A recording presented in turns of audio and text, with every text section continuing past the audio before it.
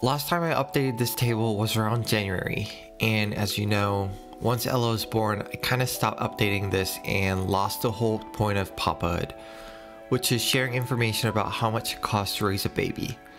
So I'm using this week to update this document so it's up to date as of today.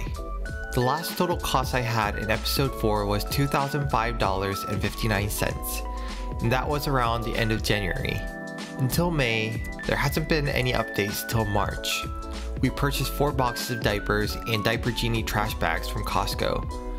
We ended up not using 2 boxes of size 1, so the cost could be deducted. But since we haven't been able to return it yet, we'll just keep it in the cost for now, or later on exchange it to a different diaper size if needed. In April, we paid all our medical bills and you can check out the details in this video on the top right. No additional expenses this month for any diapers, food, toys, or anything. Now, May, we actually have some items that we bought last month or before, but since I don't know the exact dates, I'll just add everything to this month's expenses. Wet wipes coin tissues. We bought this the first or second week after Ella was born and have used about half of it so far.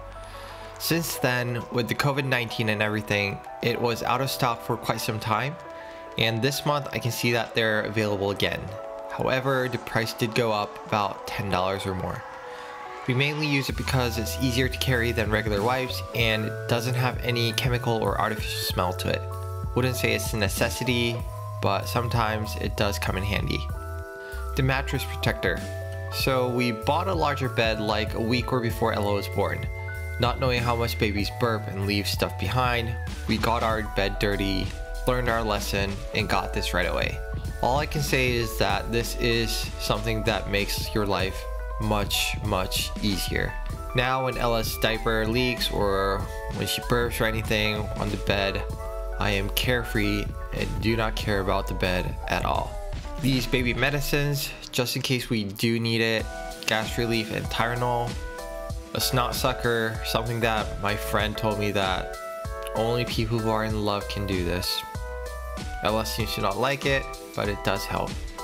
The baby carrier that I mentioned multiple times that I like so much. Some are a few hundred dollars and it really makes me wonder how good they are. Until I win a lottery, I probably won't be able to find out, but we'll see. Ella's vitamin D drops that we use every day. We bought two boxes and last but not least, cotton diapers that I mentioned last week. We bought additional diapers and inserts as well. With all this added, our total is now $8,134.91. Now that the major bills were all covered, I'm not sure if it'll reach 10k for a full year, but we'll see. Maybe Ella will want one of those expensive baby carriers. It's all about what Ella wants. Thanks for watching and we'll see you next week with another episode. Good job all parents.